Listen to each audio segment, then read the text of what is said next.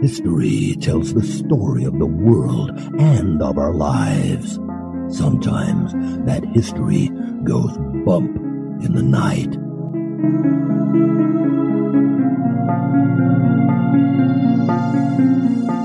Broadcasting from the center of oddity and the supernatural in Central Florida, it's the History Goes Bump podcast.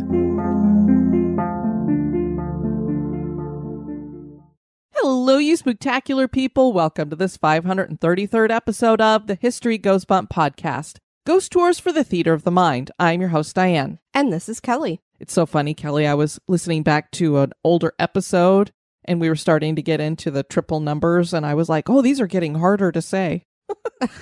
Little did I know, 533 episodes later, we're going to be covering a location called Fort Riley. This was suggested by our listener and executive producer, Ed Jones. This is a base that's in Kansas. There's a great history here. It's been around for 150 years. Wow, nice. Lots of haunts. Kelly, we have two live shows planned. We're going to be hosting them with Hillbilly Horror Stories Yes, we are. right here in Florida. The first one is at Cassadaga. It's a spiritualist camp. And the location that we're actually hosting it at is a haunted location, Hotel Cassadaga. Yep, definitely looking forward to it. This will be on April 27th from 12 to 3 p.m. And it is a very small venue. We have 30 tickets. So don't think about this one, get on it. And then the other one is in one of our favorite cities, St. Augustine. We're going to be doing it at the same location we did our previous live show in St. Augustine. And that is going to be on August 17th from 6 to 9 p.m. Looking forward to that one as well.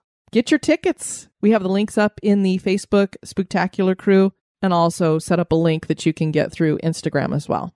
Before we get into talking about Fort Riley, we want to welcome into the Spectacular Crew a whole lot of people. We had a lot of people join us this week. Yes, We're very we excited about that. Rhiannon, Crystal, Dusty, Lynn with one N, Heather, Alina, Stephanie, Sherry with an I, Abigail, Jose, Kimberly with an LY at the end, Lisa, Sherldon, Mary, Gwynny, hope I said that right, Summer, spelled S O M E R, Andrea, and Catherine with a C. Thank you so much for joining the Spooktacular crew. And now this moment, in Oddity.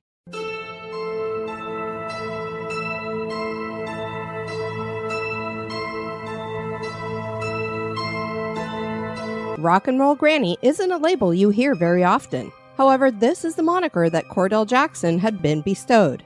She was born in 1923 in Mississippi, and with her father's career as a musician, Cordell was taught guitar, double bass, and piano from a young age. She started performing with her father's band and eventually began writing music and lyrics. In 1943, she married and moved to Memphis, Tennessee. She then began installing recording equipment in her new home so she could record herself as well as other local artists. One demo recording was of Sam Phillips, who ended up creating Sun Records, who became the label for icons like Elvis Presley, Johnny Cash, and Roy Orbison. In 1956, Cordell founded Moon Records label on the advice of RCA Records' Chet Atkins. She had been having a difficult time competing with male artists, so this was a more effective way to get her music out to the world. Cordell wrote, engineered, produced, and arranged her own music, and soon she had recruited other performers like Alan Page, Earl Patterson, and Johnny Tate. Primarily a solo artist, the Rock and Roll Granny would occasionally have a backup band. Cordell performed on shows like Late Night with David Letterman and appeared in a Budweiser commercial featuring dueling guitars with Brian Setzer. She had a prolific musical career but only released one solo full length album titled Cordell Jackson Live in Chicago, which was released in 1997. The rock and roll granny died on October 14, 2004, of pancreatic cancer in her beloved home of Memphis, Tennessee.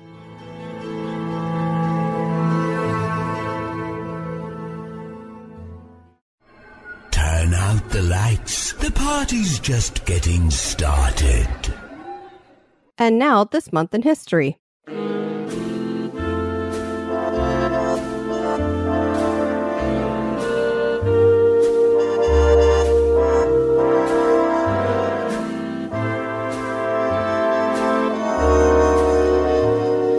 Month of April, on the 3rd in 1783, Washington Irving was born in Manhattan, New York. Irving was an American short story writer, historian, biographer, and diplomat. He was well known for his collection titled The Sketchbook of Geoffrey Crayon, Gent, which contained literary pieces like Rip Van Winkle and The Legend of Sleepy Hollow. Irving began his career with an array of observational letters to the Morning Chronicle, written under the pseudonym Jonathan Oldstyle. In 1815, he moved to England for a short time, and that's where he first published the sketchbook of Geoffrey Crayon, Gent. A few of his historical biographies included Muhammad, Oliver Goldsmith, and George Washington. He also wrote several histories of 15th century Spain covering topics like Christopher Columbus and the Moors. In the 1840s, Washington Irving served as an American ambassador to Spain. He was one of the premier American writers to earn recognition in Europe, and he supported other writers like Longfellow, Herman Melville, and Edgar Allan Poe. Irving championed writing as a legitimate profession, and he worked to establish better laws to protect American writers from copyright infringement. Washington discovered Tarrytown, now known as Sleepy Hollow, during a yellow fever outbreak in Manhattan, which had prompted his parents to send him up the Hudson River to stay with a friend. He fell in love with the area and would make several trips there. He had a home there, and of course, he was buried in Sleepy Hollow as well. Washington Irving died of a heart attack in 1859, just eight months after finishing his Washington biography.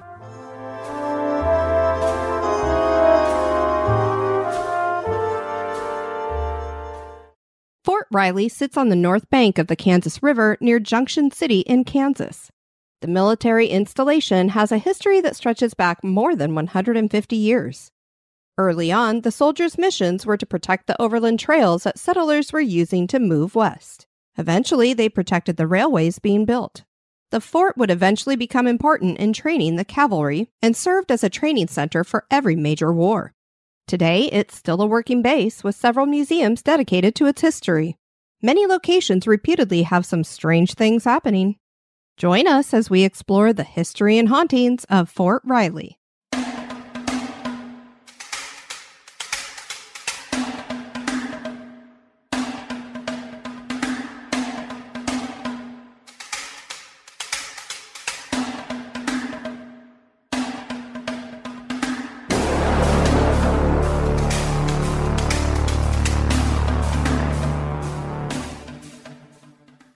Great name this place has. That's only because it's got the name of your little heart dog, I know, Riley. my little Riley. She's such an angel Uh-huh, sometimes. uh-huh. like we say, she's lucky she's cute. or she would be dead. Fort Riley started off as Camp Center in north central Kansas. That name was because the outpost was considered the center of America. Well, that makes sense. This is why we used to like to go to the Haunted America conference because we're like, we're in the middle of the country. So if people want to meet up with us, everybody kind of has to travel from the same amount of distance unless you live right there in Missouri or Illinois. Surveyors laid it out in the fall of 1852, and three companies of the 6th Infantry arrived in the spring to build temporary quarters.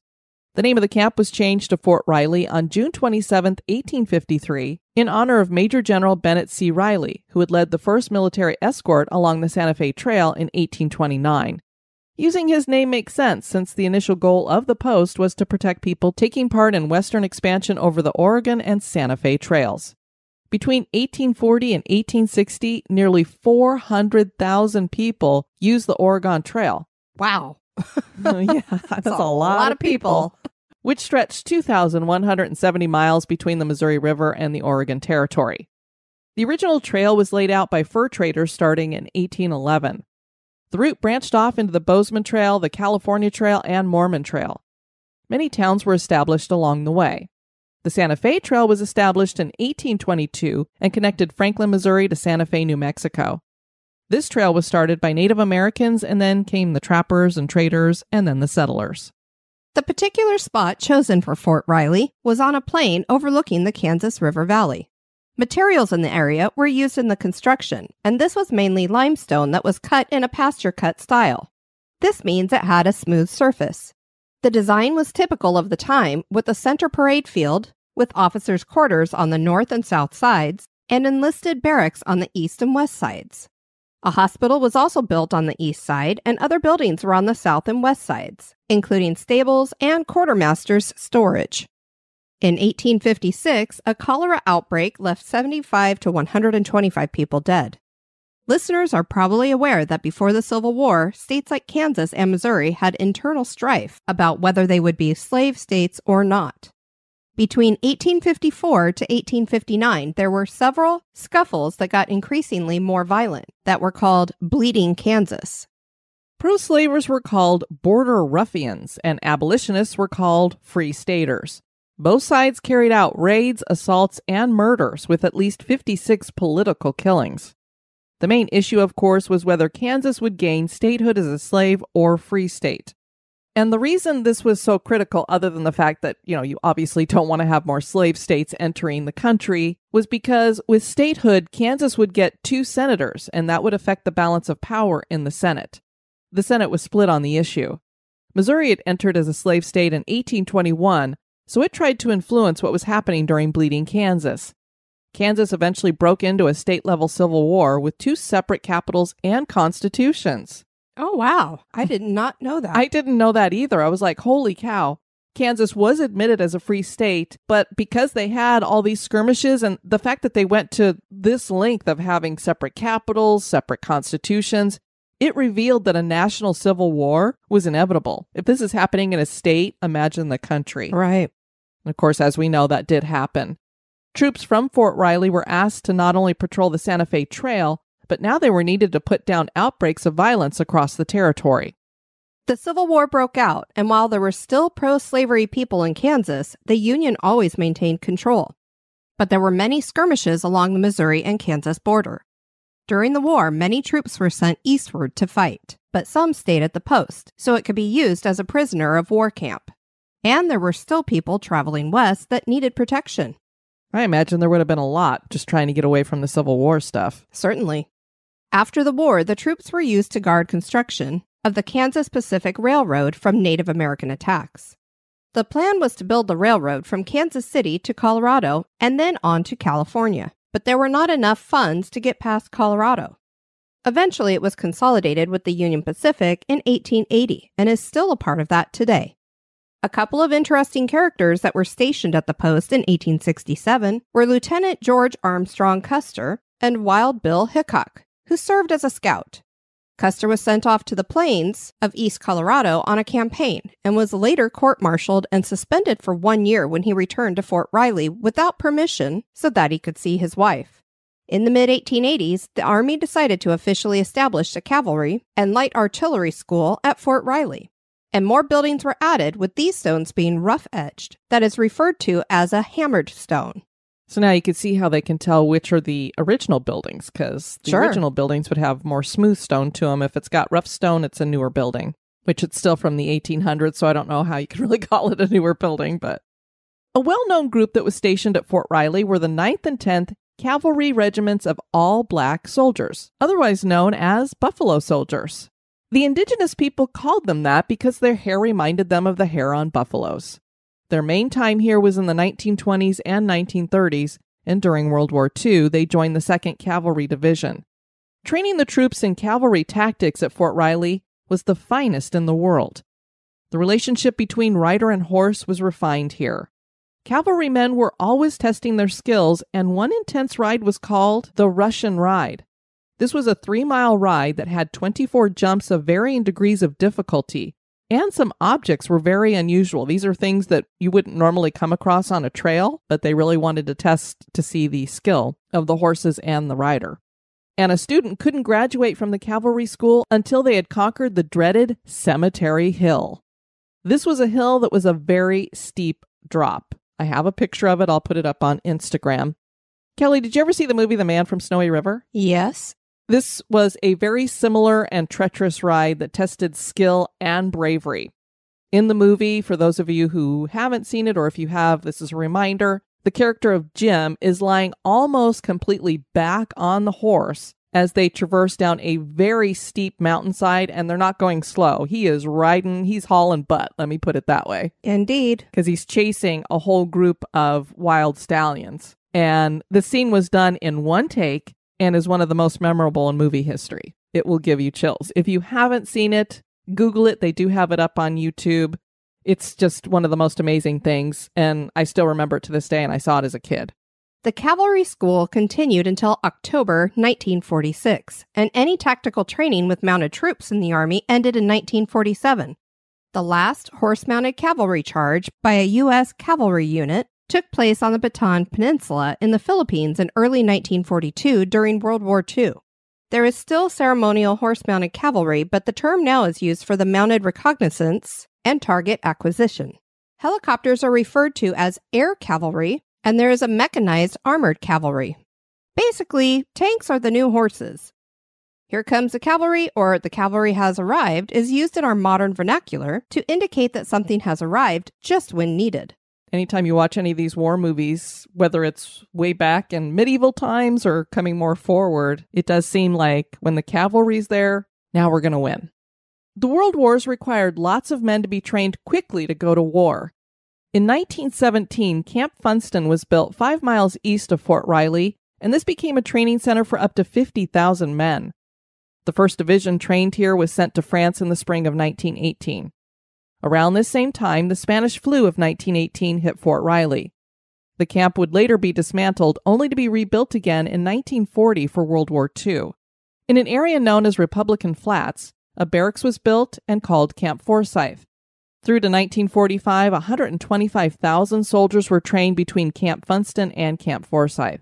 Boxing great Joe Louis and movie star Mickey Rooney were two of those soldiers. I thought that was kind of cool. Yeah. Good for you, Joe Louis. President Franklin Roosevelt visited Fort Riley on Easter Sunday in 1943. And just as a little aside, we are recording a little bit earlier in our recording schedule, but tomorrow is Easter Sunday. It sure is. Camp Funston eventually became a prisoner of war camp. And now a little break for a word about one of our sponsors.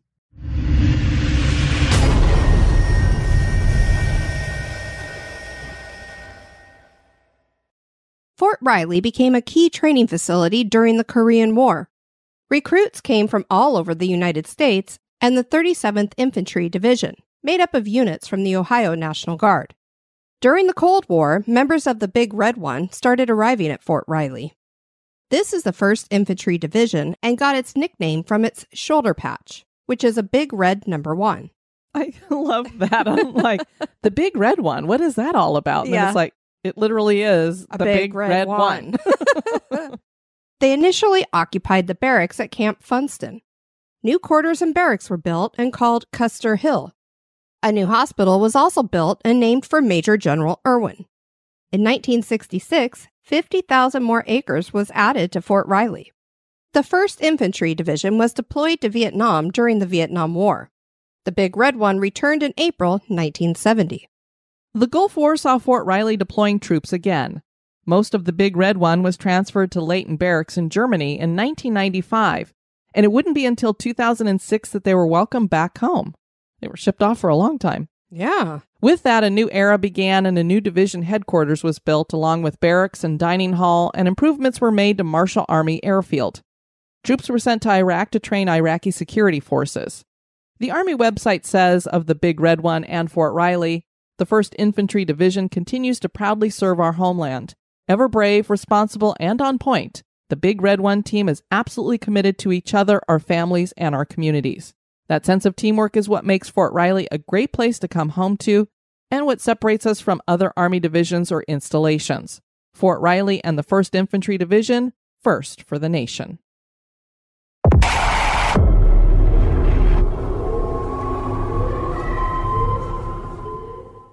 With this long history, it is no wonder that there are many areas that have reportedly experienced strange happenings. The Central Artillery Parade Field is on historic Main Post. In 1887, the cavalry and artillery split their parade fields, with the cavalry taking the original and a new one being set up for the artillery. The Artillery Parade Field now hosts the annual Fall Apple Day Festival. This has a very strange apparition. People claim to see a woman wrapped in chains walking across the field on clear nights. I have no idea what the backstory is on that, why there would be a woman wrapped in chains. It does not sound like it's a good apparition at all. No, it sounds very bizarre. And I hope they've done some investigations to make sure you didn't have somebody murdered or something near there. Right. The cavalry parade field has its own haunts, too.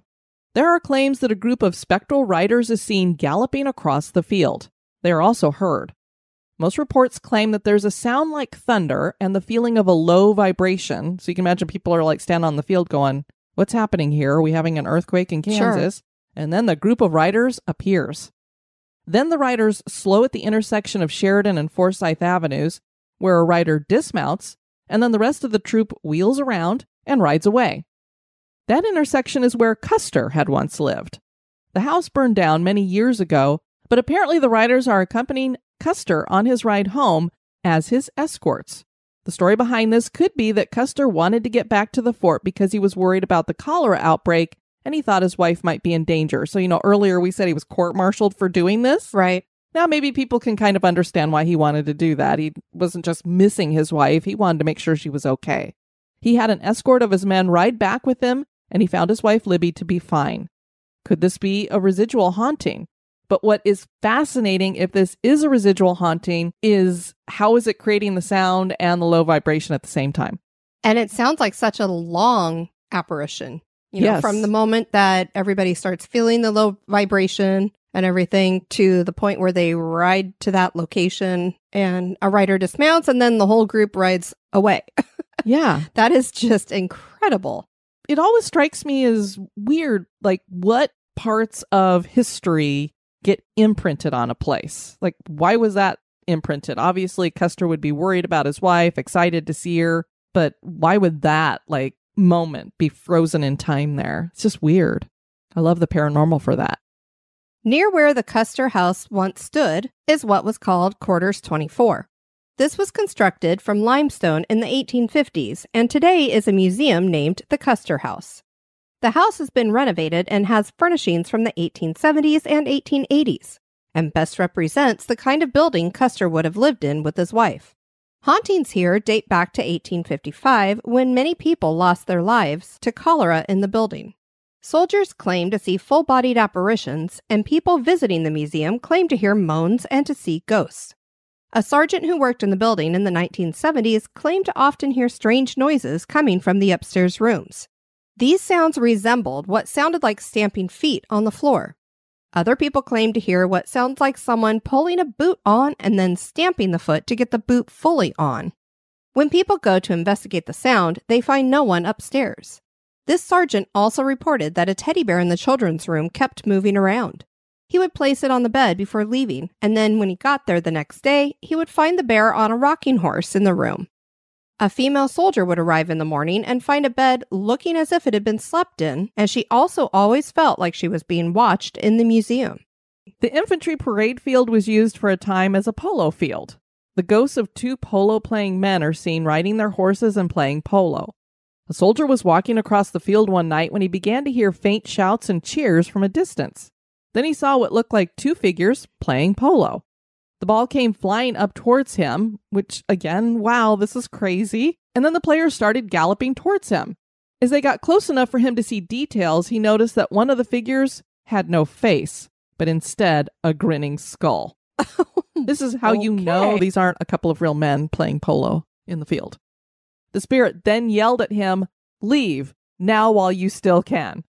The soldier listened and ran, and I'm sure he had a streak of uh, yellow stuff behind him. I or would. brown.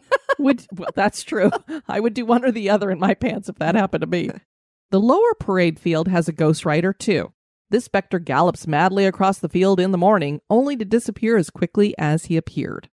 The Spanish flu pandemic that hit in 1918 took many soldiers' lives. One of them is thought to haunt an area outside of the old World War I era gymnasium.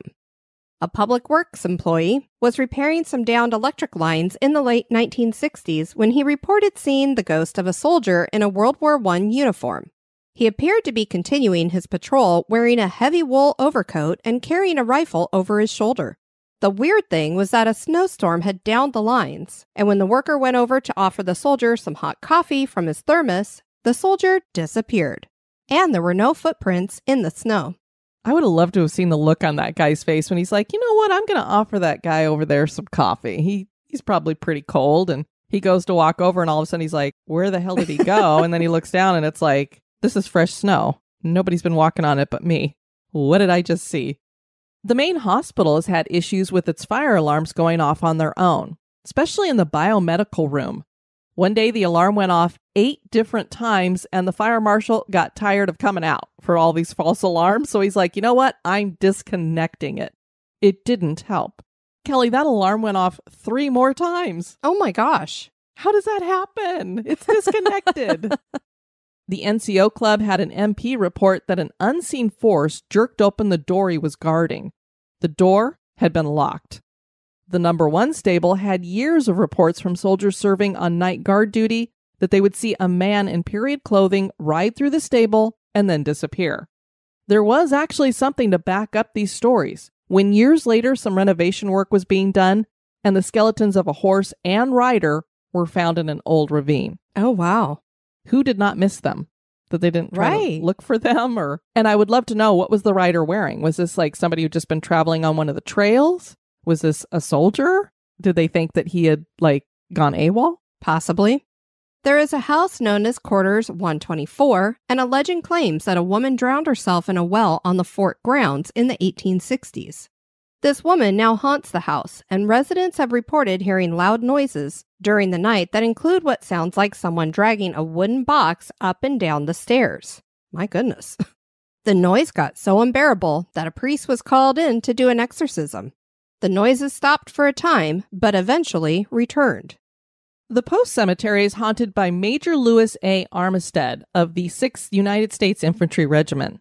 His wife Cornelia Armistead died of the cholera epidemic in the summer of 1855. Before that, the major had taken his men southwest to keep them from getting sick.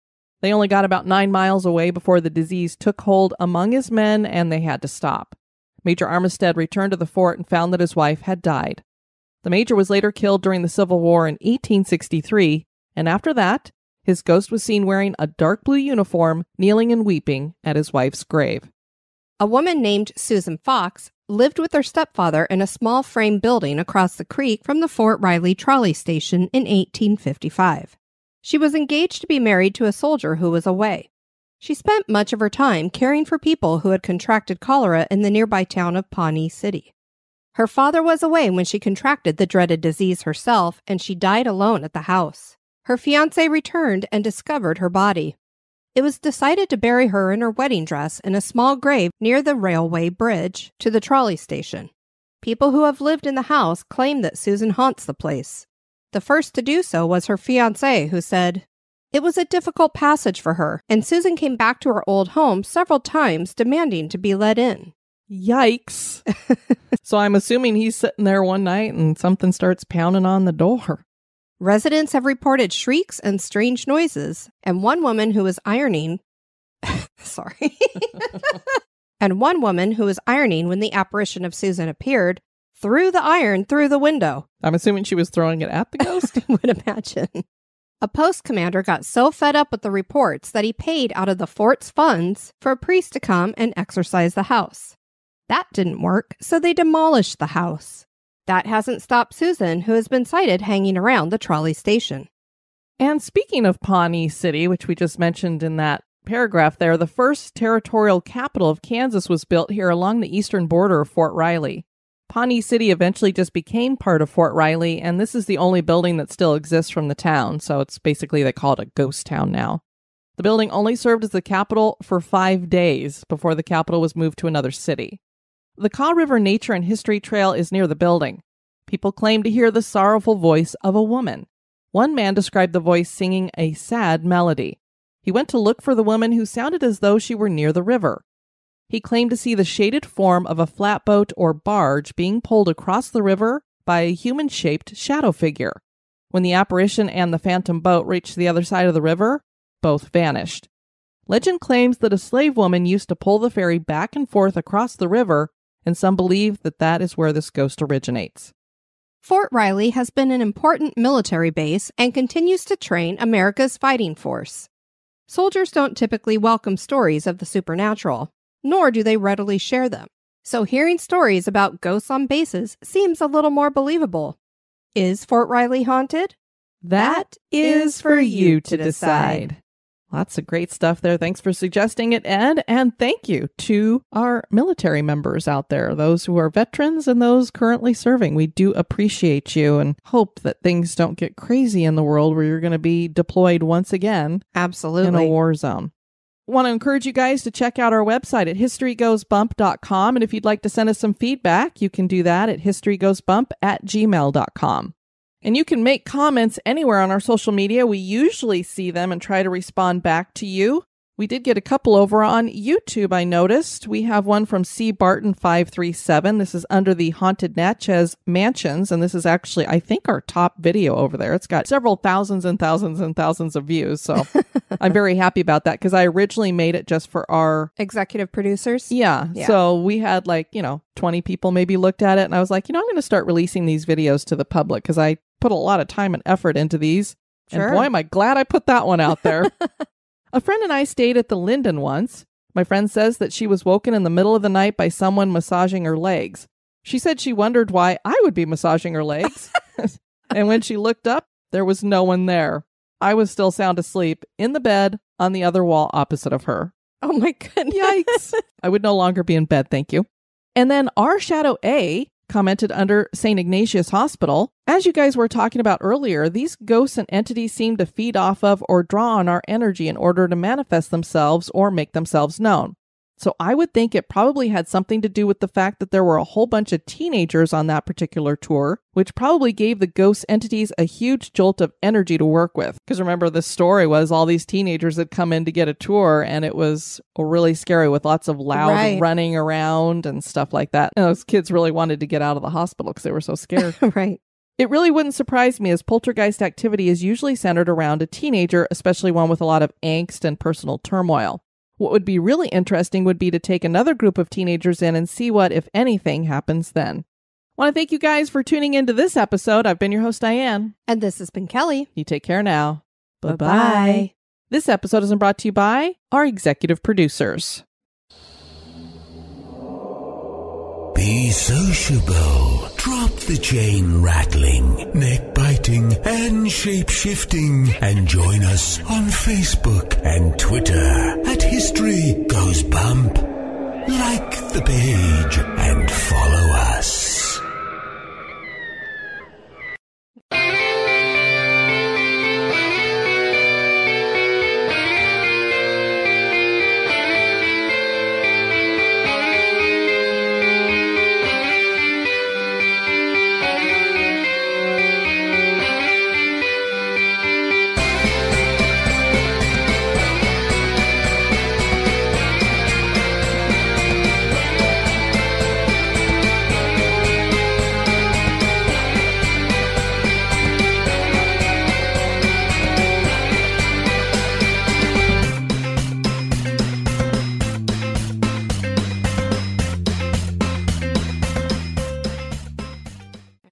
Which stretched 2,170 miles between the Missouri River and the Oregon Trail. Territory. Try it again. We're up really early but we're excited. We're going to go meet the Pollys at their house. because we've never met them before. We're going to go see their house. Well, Go you know out to what I mean. The Polly's as in hillbilly horror stories. I think most people know what we're I talking know, but maybe some don't. This whole paragraph makes me miss riding mahogany and doing jumps. And I've done that down a very steep hill. Oh my running, God. But I had to lay all the way back. Like my back was almost touching his ass. Yeah. yeah. Oh, God, it just looks terrifying. It's just amazing. To think that the, he really, I mean, the, the stunt guy really did that ride. Yeah. And they're like, we're only doing it once. So, That whole experience makes me think of a modern day cross country on horseback. I mean, all the different random jumps and everything. so you did that with your horse mahogany? I did not not the big stuff. The Mhm. highest I think we ever jumped was three six, but he was a pretty good jumper for an Arabian. Cool. I had a friend when I lived back in Colorado that that's what she did. She had a cross country, I don't know what you call it, field that people could come and do their thing on. And yeah, she walked us around it. I mean, we didn't walk the whole thing. Obviously, they're huge, but I was just like, oh my gosh, horses are jumping over. It'd be like a big fallen tree and all kinds of stuff. It was crazy. Yeah, they have some pretty big events out in Temecula with that. Very my cool. My parents used to live. The house burned down many years ago, but apparently the riders are accompanying. There's a there's a fun word accompanying. I mean, who writes these things and makes up these words? Accompanying. I mean, how accompanying? accompanying.